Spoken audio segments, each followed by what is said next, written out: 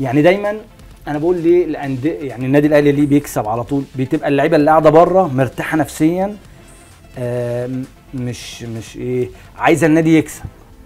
يعني أنا مش عايز أقول يعني لا طب آه يعني مين اللي مش هيكون عايز الأهلي يكسب حتى لو مش مرتاح نفسيا؟ لأ كل لعيب بيتمنى إنه يلعب أساسي. ماشي.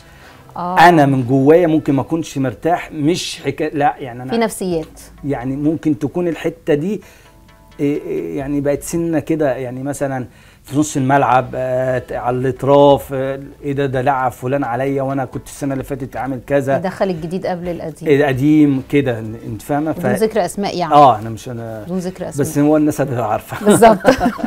فاهمة؟ فهي دي ممكن النقطة ديت. فالتوفيق ما جاش للنادي الأهلي لأن النادي الأهلي كان في أوقات كتيرة بيكسب. يعني كسب بطولة أفريقيا ديت بالتوفيق. آه.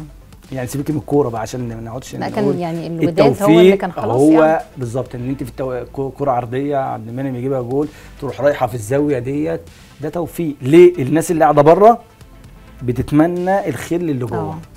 هو ده اللي أنا قلقان منه الفترة الجاية للنادي الأهلي يبقى في مشاحنات ما بين. اللعيبة وإنه مثلا وما بين آه. بقى ممكن مدير ف... يعني لعيبة ومدير فني آه يبقى في خلافات يعني أصلا لأن آه. الموضوع ده حصل في الآخر مع عبد ال- عبد القادر في آخر الموسم.